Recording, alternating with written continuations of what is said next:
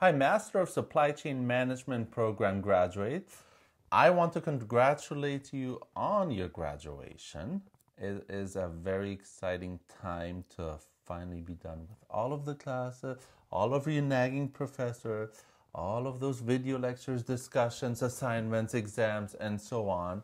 So you must feel very relieved that you don't have to deal with us anymore. And you get to, to move along and uh, progress in your careers. I hope that um, you enjoyed your time. Um, we certainly have enjoyed having you in our classes, and hopefully, you will not be strangers going forward. So, good luck.